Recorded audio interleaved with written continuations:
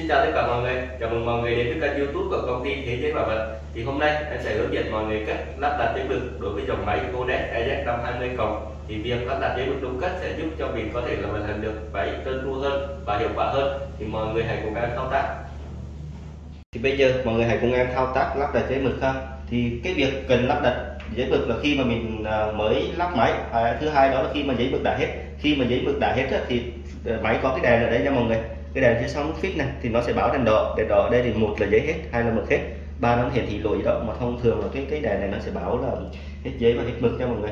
Thì đầu tiên thì mình cần mở nắp máy lên và lấy cái mực hết ra và cái giấy loại loại giấy ra để mình lắp được cái cuộn mực mới và cái ờ, giấy mới vô ha. Để mở nắp máy thì mọi người thấy hai bên hông nó có hai bên cái tay này, này. Mình nhấn nhẹ vào đây rồi mở lên. Khá là nhẹ nhàng nhé mọi người đó đầu tiên thì mình sẽ mở cái nắp máy ra. Tiếp theo là mình cần mở cái cùng đầu in. Để mở cùng đầu in thì mọi người có thể thấy ở đây nó có hai cái gà màu xanh đây, để nó giữ cái đầu in với cái cái cái máy lại lại ha. Thì mọi người nhấn vào cái gà màu xanh này. Đây, thì nó sẽ bung cái cái đầu in lên, bung nguyên cái cùng đầu in lên. Đó đó thì mình, đầu tiên mình ờ, thay giấy thì giấy hết thì mình sẽ phải lấy cái cuộn giấy ra. Mình sẽ lấy lấy cái lọ giấy đó hiện tại cái lọ cuộn của em đang còn ha. Còn nếu mà không thì nó chỉ còn một cái lọ lọ không thôi ha mọi người lấy ra lấy ra sau đó đây có cái gác giấy mọi người lấy hàng ra luôn ha.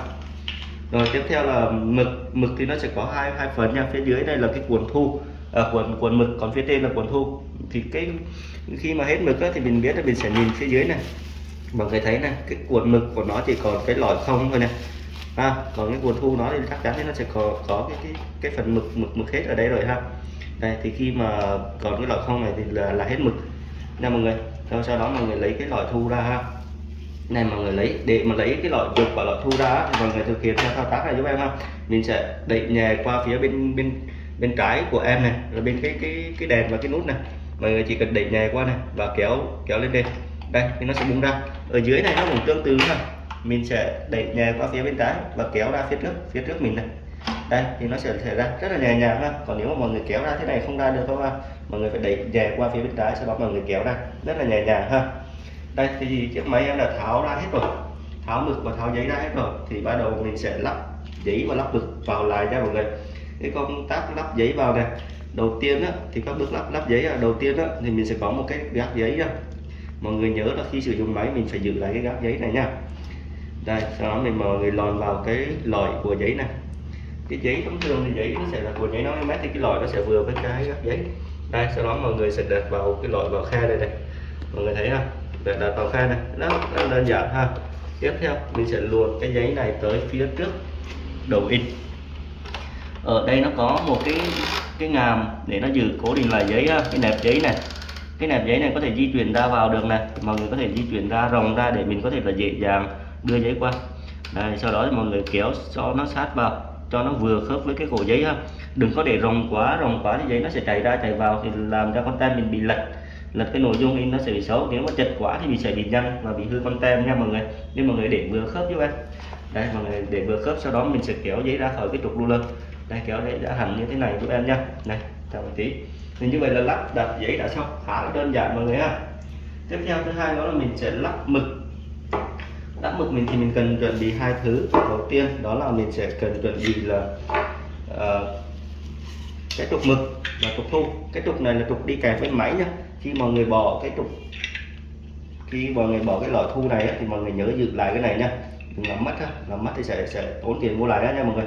Đây thì um, đầu tiên là mình sẽ lắp cái cái trục thu trước ha. Thông thường khi mà một cuộn mực mới sẽ nó sẽ đi kèm một cuộn mực và một cuộn trục thu không như thế này để cho mình có thể vứt bỏ luôn cái cuộn mực trục thu cũ và mình lấy cái, cái cuộn trục trục thu mới ha. Thì mọi người để cái loại mực vào cái trục thu như vậy. Sau đó mọi người sẽ gắn vào. Cái trục thu là mình sẽ gắn ở phía trên nha mọi người. Cái trục không á mình sẽ gắn ở phía trên. Đây. Thì như thao tác lắp ngược lại so với mở ra ha mọi người sẽ để vào khớp phía bên trái trước ha.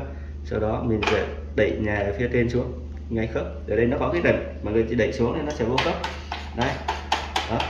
Còn đây là cái cuộn mực ha để lắp mực, đúng mực thì mình phải xác định được mặt mực. Nếu mà mình, mực mình là mực outside thì mặt mực mình nằm phía bên ngoài, mực mình là mực inside thì mặt mực ở phía bên trong nha mọi người. Đây. Thì nếu như mọi người có thể nhìn, mọi người không, bên ngoài nó hơi nhám hơn này, thì mặt mực nó phải phải áp xuống mặt giấy, thì mặt mực nó sẽ nằm ngoài, nó sẽ áp xuống mặt giấy như thế này ha, theo hướng thế này. Mục đích để mình có thể là gắn cái khớp này cho nó đúng, tại vì khớp, ở đây nó có một cái khớp thì nó sẽ nằm phía bên trái này, rồi mình sẽ gắn cho đúng. Nếu như mọi người gắn ngược lại thì lúc in ra nó sẽ ra giấy trắng thì mọi người sẽ phải lật ngược lại cái cái mực lại ha.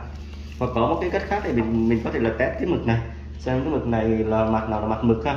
Tại vì trên thị trường nó có mực outside và mực inside. Nếu như mà mọi người lột một miếng đề can này, dán vô này, dán mặt trong này. Mực của em là mực outside nên bên ngoài này, dán ở trong nó không có gì nha đây dán bên ngoài nó có mực này. Đây, mọi người thấy dán bên ngoài nó có mực. Thì nghĩa là mực, mặt mực ở bên bên ngoài. Nên thành ra là cái mặt mực phải áp xuống mặt giấy thì cái hướng nó sẽ như thế này. Sau đó thì mọi người luồn cái cho vào cái loại thường loại nó sẽ vừa khớp với cái ờ, cái cuộn mực ha. Tiếp theo là mình sẽ gắn vào. Thì phía bên trong này nó cũng có cái này. Đây, mọi người bỏ vào. Bỏ vào ờ, bỏ vào cái khớp ha đây sẽ mọi người bỏ vào cái khớp, sau đó mọi người như thao tác cũ mà em thực hiện thì mọi người sẽ đẩy đẩy cái này vào đây đấy cái cái thật, đúng không? Sau đó thì ở trên này, mọi người um, nó sẽ có lớp băng keo thì mình sẽ dán lên cái cái cái loại này. Hoặc là mọi người em xé cái lớp băng keo rồi thì mọi người có thể cuốn một vài vòng hoặc là lột một con tem đề can để mình có thể là dán lên thế này. Để mình có thể là cố định cố định cái cái này lại đây em làm quen thì em có thể là cuốn một vài vòng thì nó cũng có thể là cố định được ha. Đấy sau sau khi như vậy là thao tác lắp được là xong khá là đơn giản đấy mọi người. Đây vừa rồi sau đó mọi người đóng lô in xuống thì mọi người nhấn mình xuống này để hai tay đây.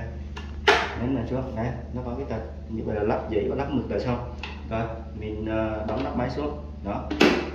Các bước thao tác khá là đơn giản hy vọng mọi người có thể là làm được thì vừa rồi em đã hướng dẫn mọi người cách lắp đặt giấy mực đối với dòng máy Godet EZ520 cộng. Thì như mọi người thấy, việc lắp đặt giấy mực khá là đơn giản, ai cũng có thể thực hiện được. Nếu mọi người cần hỗ trợ thêm, mọi người hãy liên hệ ngay tới công ty thế giới bảo vật qua số hotline 1900 3438 hoặc là truy cập vào website thế giới bảo vật.com nếu cái video này hữu ích thì mọi người cho em xin một like và một subscribe. Em xin cảm ơn và hẹn gặp lại tất cả mọi người.